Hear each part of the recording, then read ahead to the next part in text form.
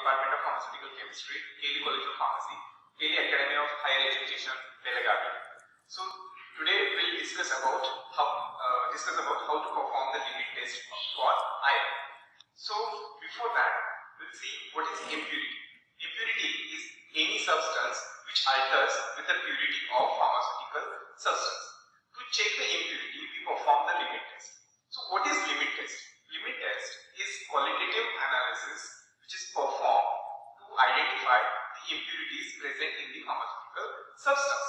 So the requirement for our experiment is we require Nessler cylinder. So this is the Nessler cylinder and this is the 50 ml Nessler cylinder. Then we require samples. So we'll be taking two samples here, sample A and sample B. There is a standard solution. The standard solution is prepared by using uh, by using the procedure which is prescribed in the IPA. Then we require the chemicals. This is high acid, high acid. Then we require citric acid 20% and then we require ammonia solution. Now we have the I have taken two stands here. So one will be I will be using for the sample A and another I will be using for sample B. So let's understand the principle for limit test of iron. So what is the principle for this limit test is when if the impurity present in the pharmaceutical substance, that impurity we have to identify. How we can identify is when we suppose iron impurity present in the pharmaceutical substance, we'll be using the citric acid, lactic acid and ammonia. So when if impurity is present, it will react with the lactic acid as you can see in the reaction. When it reacts with the lactic acid, it forms a complex. That complex is ferrous hydride and that complex is actually shows color in the alkali medium. So that is the reason we will ammonia solution. Then another chemical which we are using is citric acid. The reason is if ferrous ions are present, it will react, there is a chance that it will react with the ammonia solution and it will form ferrous uh, ferrous hydroxide.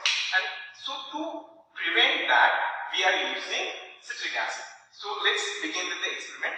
So uh, what we'll be doing is we'll be performing the preparation for standard solution and the preparation of for sample solution simultaneously. And I will be performing the uh, experiment for sample A and sample B uh, simultaneously. So I'll take the sample A and this stand I will use for sample A and this I will use for sample B. So let's take the sample. Now we have to take the 2 ml standard solution in each Nessler cylinder. So I'll take uh, standard solution. Go.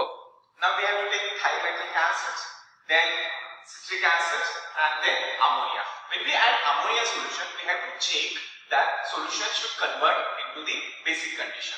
Why we have to check that? Because amount of ammonia should make that solution alkaline. Why?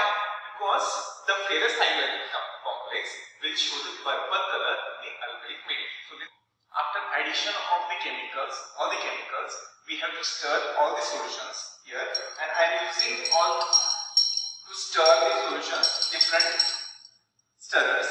Why I am using different stirrers is that solution should not mix with the standard solution. So stir the solutions and after stirring it what we have to do is we have to keep it for 5 minutes to develop its color and when purple color if when we see that development of purple color we have to add the water and make up the volume in 50 ml. So we'll wait here for 5 minutes. Now we can see here the color is developed. So now we have to do the observation.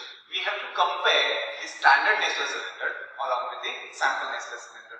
So uh, this as per the mention, uh, this is sample A and this we have used for sample B solution and you can see color is developed. So what we can see here is the color which is formed in the sample is actually more intense than the standard solution. And here it is the color which is formed in the sample B. Actually there is no color but the color which is formed in the standard solution is actually more intense than the sample solution.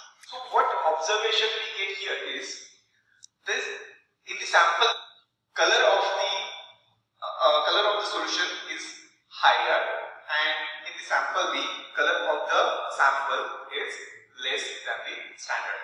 So we conclude here and our result will be the sample A is fails the limit test for the iron and sample B passes the limit test for iron.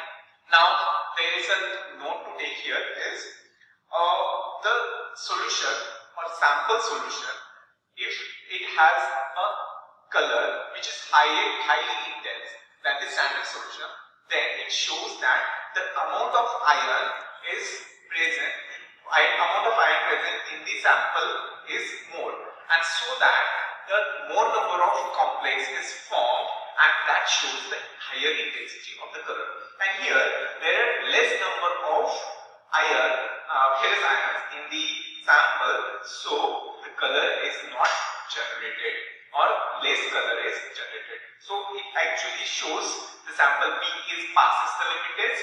So less number of ferrous ions are present. So this can be go for the further process in the industry or for the manufacturing or formulation. And this sample is to be used to reduce the content of ions of impurity. So we have discussed here how to perform the limit test and we have learned how to perform the limit test. And also we have uh, we have discussed is how the limit test is